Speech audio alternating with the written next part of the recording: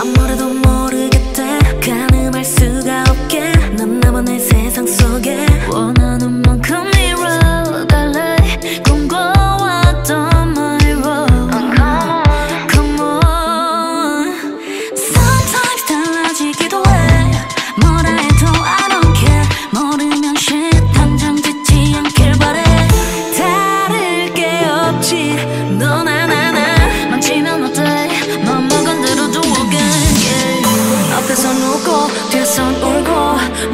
적어서 표현해봤자 보고 싶은 대로 볼 텐데.